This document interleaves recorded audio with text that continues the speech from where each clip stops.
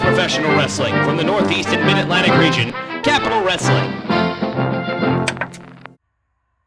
The Pain Train, Preston Quinn, follows in a long line of wrestlers that prove, like wine, talent ripens into excellence with age.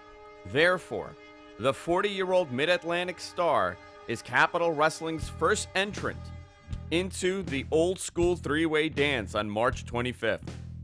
While oftentimes in professional wrestling we celebrate youth, it's just as easy to argue the point that for many industry stars, life begins at 40.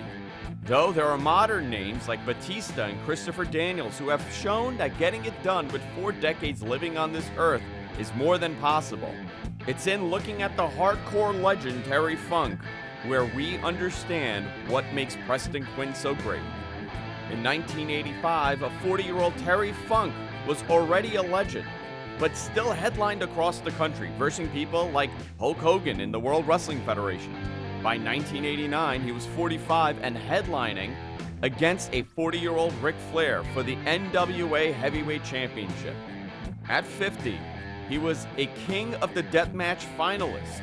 By 55, he was ECW World Champion, WCW US Champion, and WWF Tag Team Champion.